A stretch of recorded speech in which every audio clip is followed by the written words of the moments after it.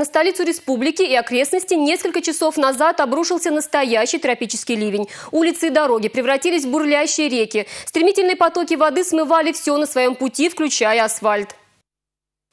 Дождь только начался, а у нас на Хивежской смывает дорогу в гаражи. Смотрите, что происходит.